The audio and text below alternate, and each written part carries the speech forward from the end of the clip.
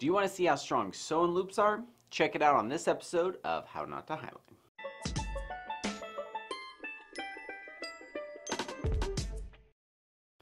Hi, I'm Ryan Jenks and welcome to the first Slack Snap episode of How Not to Highline. We built a 222 kilonewton break test machine so we can break anything and everything and do it in slow motion.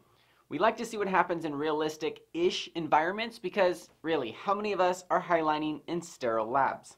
Now, I'm not an engineer and I'm not a scientist. I'm just a guy with way too much stoke and a big dynamometer. Now, I don't use a big hydraulic pump like a normal test bed. I do what any good slacker would do.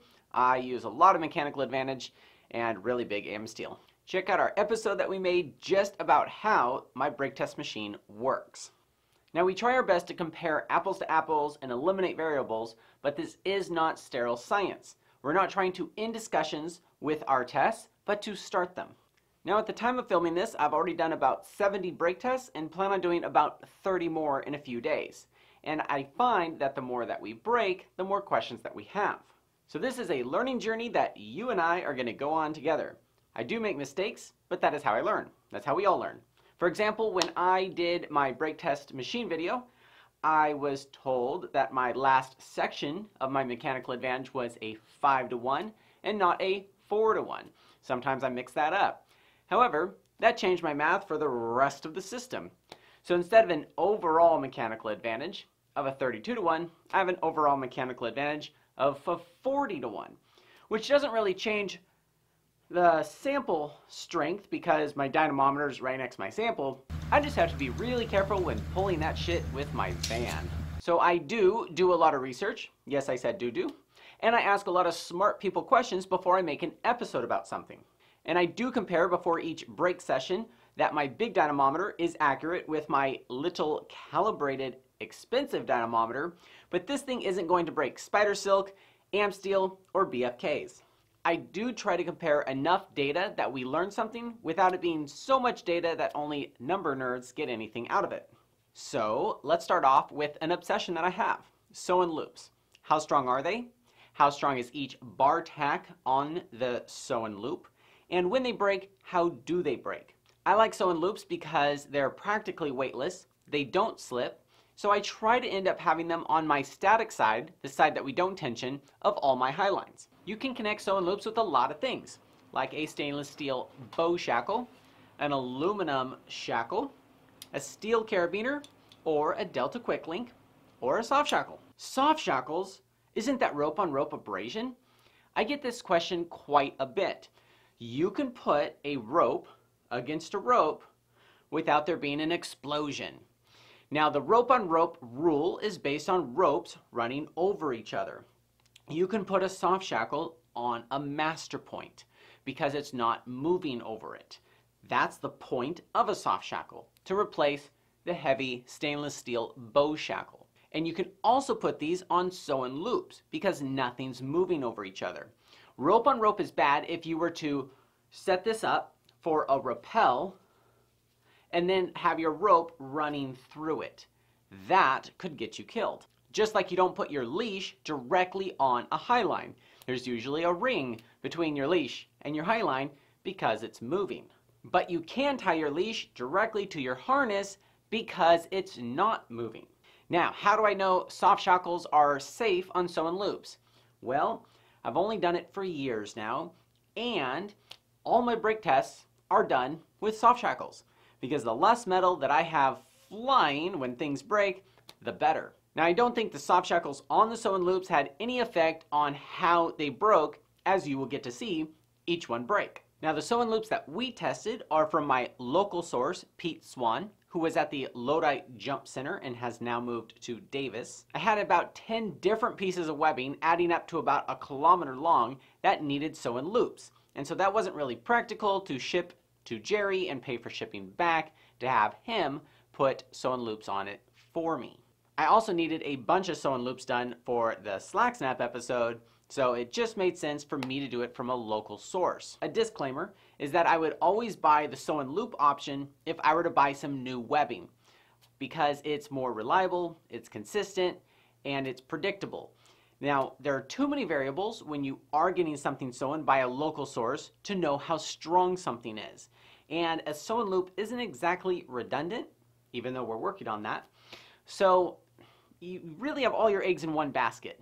And if you don't know if it's going to work, mm, it's best to just get sew and loops done by slackline companies. So if you are going to get sew and loops done by a local jump center or a harness or a sling manufacturer, just know that your results might not be the same as the results that I got on this video.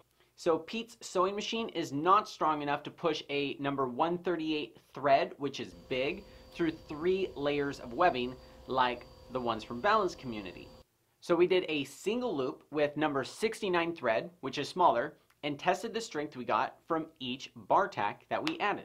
So we did some with just one and three bar tacks, and then the other ones we did with four, six, eight, and 10 bar tacks. And just as a disclaimer, my test pieces are not padded, but the pieces that I added to my actual webbing are padded to add longevity from wear and tear. So if you go to slackademics.com, under my section, I have a slack snap section, and you can see a chart of all the data that we have on this episode on there, so you can either follow along or reference it in the future. Now let's start with Type 18 from Balance Community. The MBS on the Balance Community website is 35.6 kilonewtons. Now in order to compare apples for apples, we put Type 18 in a Weblock 3.0, which has the same diverter size as a Weblock 4.0. And we got an RBS, a realistic breaking strength, of 23.7 kilonewtons, which is 66% of its MBS. It wasn't brand new webbing, because how many of us are highlining on brand new webbing every time? Um, but it was in good condition. So it broke um, behind the weblock, like most webbings do, uh, because the diverter lowers the breaking strength. Because the diverter that's used in the lab when they test for the MBS is like four inches around. And so it's um, not realistic breaking strength. So we're going to compare our sew-in loops with the results we would have got if we just use a web lock instead. Now with type 18 we did the 4, 6, 8, and 10 bar tacks. Uh, when we did 4 bar tacks we got 13.1 kilonewtons and then we put the tail of that sample into a web lock which is going to be stronger than these sew-in loops and broke the other sew-in loop on the other side. Now you would think because it didn't break the first time that it would be stronger. But in this situation, it broke at 12.6 kilonewtons, which is a little bit less than the first test. Now, I believe it broke less because we stressed it so much during the first break test that it weakened it about a half a kilonewton for the second test. So then the next sample was 6 bar tacks on type 18, and that broke the stitching at 16.5 kilonewtons. And when we put it into a web lock to break the other side of the sample, that also broke exactly the same at 16.5 kilonewtons as well. Now keep in mind my dynamometer is in pounds of force. That's the only setting it has. So on the chart here and in this video, we're doing kilonewtons because that is more universal among us slackliners. So our next test was 8 bar tacks and that broke at 20.2 kilonewtons. Now, in the process of breaking that, it broke the stitching on the other side a little bit on four bar tacks. So when we broke it again to break that second loop, it broke at 15.5 kilonewtons. And it lost a lot of its strength from being stressed so much. So now we're at 10 bar tacks. And our first sample broke at 22.9 kilonewtons. And there was an extremely loud pop. It jacked the stitching up on the other side, and it was very violent. Now we got 22.9 kilonewtons, which is almost what we get with the weblock on the RBS. We made an entirely different sample to thoroughly test this, and because the other side was so messed up, and got 21.1 kilonewtons. And the webbing actually broke, not the stitching. So it looks like 10 bar tacks is going to give us the full strength a sew and loop can give us on type 18. Now keep in mind that Jerry's loops are only 7 bar tacks, but he's using a much thicker thread. And he said that all of his breaks happen at the first stitching. His webbing breaks, his stitching does not come undone. Okay, the next webbing we tested is Moonwalk. That is a Dyneema polyester blend from Slack FR. It's slippery AF. The MBS they have on their website says 35 kilonewtons, which is just about the same as the Type 18, but it's ultra light, which is what makes it nice. It's a high-tech webbing. Dyneema is the same stuff that Amsteel is made out of. Anyways, it cannot be single wrapped in a web lock. So we have on the chart here double wrapped for our realistic breaking strength, and we got 27.3 kilonewtons, 78% of the stated MBS. 6150, check this out. This web lock is fine. And then this web lock, I had to figure out where it broke at. It broke from the back. So you can see here that this was the back of it and it broke behind there. The first test we did were, was four bar tacks and we got 13.3 kilonewtons. And then on the second test, after we put it in a web lock and double wrapped it, we actually got more strength, 14.4 kilonewtons. This webbing appears to retain the strength of each bar tack because it doesn't stretch at all, compromising the uh, bar tacks on the sewing loops. So our next test was six bar tacks, and our first sample broke at 18.6 kilonewtons. And when we put the sample back into the web lock to test the other side, we actually got more strength out of the other side again and got 20.4 kilonewtons for our second sample of six bar tacks. So eight bar tacks is when it starts to get interesting. Our first sample, the stitching broke at 22.9 kilonewtons, and then we put it into the web lock to test the other side. However, check out what happened after it broke at 24 kilonewtons. 5,400 pounds. The way I'm holding this was the way it was in the web lock. If you look on the back side of it, it's melted to that piece and this piece was attached to it. So it was like this and broke behind the web lock. And this, this right here is, uh, was melted to this. So at 10 bar tacks, our first sample broke at 31.3 kilonewtons, but it broke in the middle. So I couldn't put it in a weblock and test it again. Check it out. Look at how that ripped that apart. It broke it right in the middle. And the sewn loops. And you saw how this was pinched. This thing is uh, this thing is fine. But uh, the sewn loops, the stitching, there's no issues with it. Then I had another sample made and it broke at 30.0 kilonewtons and check out what happened. This one broke at only 6750. Same 10 bar tacks. You can see how it just ripped out the stitching there. Um, it broke pretty much at the bar tack.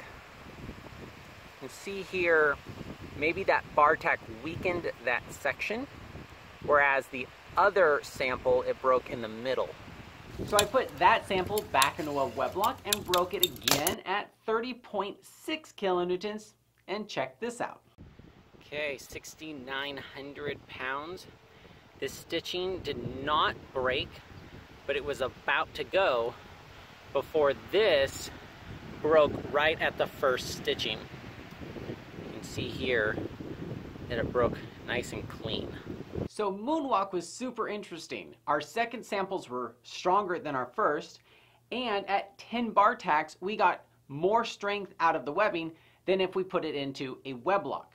We were able to get 89, 85, 87% of the MBS, whereas my RBS inside of a web lock would only get 78%. So that's very interesting on a low stretch, high tech webbing. Speaking of high tech, low stretch webbings, we broke some spider silk. This is a Vectran webbing made from Balance Community that is no longer made, but I have a ton of it. And the MBS is incredible. It's 15,000 pounds or 67 kilonewtons. We did put it in a web lock for the RBS and got 42 kilonewtons or 9,550 pounds. And we double wrapped it because it's always been recommended to double wrap that webbing to find out that it's just about the same at 43.6 kilonewtons. So we're getting 63 and 65% when used in a web lock. It is pretty much the strongest webbing ever made for at least slacklining. Because this stuff is three bucks a foot and irreplaceable, we did one, three, four, and 10 bar tacks to test the spider silk. So we tested one bar tack of spider silk and got 4.6 kilonewtons, or about 1,050 pounds of force from just one. Then we tested three bar tacks and got 9.3 kilonewtons on our first sample, which is more force than we've been able to put on a highline since I started testing it with our dyno. Our second sample broke slightly lower at 8.67 kilonewtons. So then we did four bar tacks and got 15.8 kilonewtons, which shows each bar tack does give us strength, but it's not linear. It's not like we get 1,000 pounds per bar tack. And then we did 10 bar tacks, which got us 32.7 kilonewtons. And then our second test was 31.8 kilonewtons, which is only 49 and 47% of the MBS. Now 10 bar tacks have been great for the other webbings, but I think we would have an exception here on the spider silk. I think I could add more in order to keep increasing the strength to at least get what the weblock gives us, which is 42 kilonewtons. I'm about 10 kilonewtons shy from what a weblock gives. So if I were to rig the space net at GGBY with this spider silk, I would probably use weblocks on all the points and not the sew-in loops but these sew-in loops are perfectly fine if I'm using the spider silk as a backup line. Our final webbing is the classic tubular nylon webbing. This is interesting because the MBS is 20 kilonewtons and the RBS, when we put it in the web lock, broke at 19.1 kilonewtons. And that's 95% of the stated MBS. Maybe that's because it stretches so much, or maybe because it's from a different manufacturer and they test it different in a lab. I don't know. So we did four bar tacks, and we got 12.6 kilonewtons on our first test. And then on our second test, we got 10.6 kilonewtons. So we have the same issue of the second test breaking at a lower force because the nylon stretching messes up the stitching. Then we jumped straight to 10 bar tacks and we got 17.1 kilonewtons, which is 85% of the MBS. And the second test we did with the 10 bar tacks is 16.2 kilonewtons, which is of course a little bit less than the first. So tubular nylon held quite a bit of strength considering it's a weak webbing. Okay, so we just covered 32 break tests on sew-in loops. I tried to make it as quick and painless as possible while being somewhat entertaining. However, these are very important to know if they're going to hold because all your eggs are in this basket. It's not very redundant. You can add a loop here, but that's not to make this redundant if it breaks at the first stitching. So if something were to fail with a loop you were to get done at home and you were to fall on your backup line and your backup line has the same loop made from the same place, you could die. So I do recommend if you have the option to go with a slackline company's loops because you know they're reliable and consistent. So the Balance Community website says that their loops hold 80% of the strength of their webbing and I asked Jerry about that and he said about 20 kilonewtons. And I also asked SlackFR and they said their loops hold about 15 kilonewtons. Now that I've done a bunch of break tests, I feel like a blanket number for a loop um, may not be super accurate because um, each webbing is so different. The idea is that it's a minimum of 20 kilonewtons or a minimum of 15 kilonewtons, which is perfectly fine for a Highline. So with those results, I'm pretty happy with my loops. The Type 18 gave me, this is not Type 18, it's Flight, gave me 21, 22 kilonewtons, so that's great. And the Moonwalk and the Spider Silk gave me 30-ish kilonewtons. So that's pretty good considering that the slackline companies are also getting around those strengths. Now, if you like having this extra loop to be able to clip to something else other than your master point, you could always, if your place only does two layers, do a loop and then have another loop on your tail. I opted not to do that because I made sure this is bomber, individually tested all of my pieces, and made my loop big enough that I can fit multiple things into it. If you are going to get loops done at home, uh, you can send me some samples. I'm more than happy to break test them. Please message me before you do that so I can tell you what I need in order to test them. Um, I'd love to see what kind of results we get from different places. If that's not feasible and you don't have a dynamometer, you really should check each loop before you ever go up high. So worst case scenario, you can go to the park, pull on it really hard with your pulley system and many friends, make it tight AF, and uh, bounce walk it because you're not going to get more force than that when you highline. You could also error on the side of caution and get 15 bar tacks, I think 20 would be overkill, um, instead of just 10. Uh, Jerry, he has only 7 on his, and I don't know what uh, the European companies put on theirs. So this slack snap thing is a journey and not a destination. This will not be our last loop episode. We will build off of this episode the next time we do breaks on some loops.